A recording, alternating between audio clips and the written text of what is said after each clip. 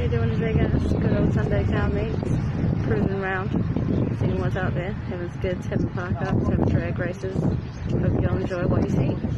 Hit the like button, share, add some subscribers. Let's get this shit going.